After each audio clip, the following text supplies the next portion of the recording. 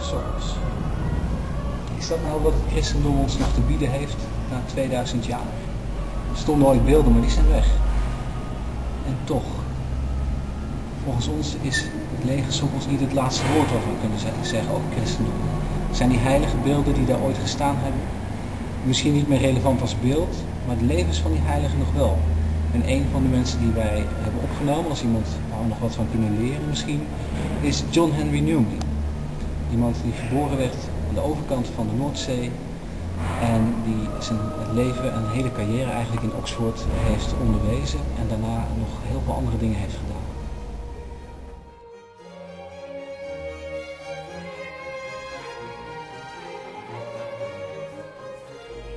Wij worden niet slechts eenmaal geroepen, maar herhaaldelijk. Ons leven lang roept Christus ons. Het zou goed zijn als wij dit inzagen. Wij zijn echter traag om die grote waarheid te vatten, dat Christus als het ware onder ons wandelt en ons met zijn hand, zijn oog of zijn stem uitnodigt hem te volgen. Wij begrijpen niet dat zijn uitnodiging ook nu plaatsgrijpt. Wij denken dat zoiets enkel gebeurde in de dagen van de apostelen, maar wij geloven niet dat wij er naar uit moeten zien voor onszelf.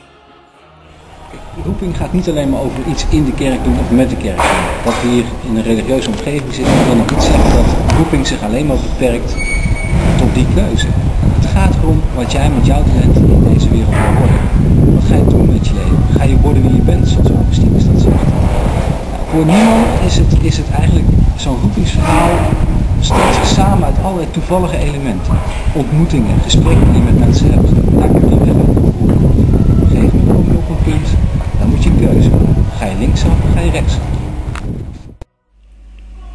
De wereld kan van ons een offer verlangen, waarvan wij beseffen dat wij het niet mogen brengen. Er wordt ons ergens een aanlokkelijk aanbod gedaan, of een verwijt, of er hangt ons een schande dreigend boven het hoofd. Wij moeten ertoe besluiten kleur te bekennen. Dan hebben wij gedaan wat God van ons verlangde.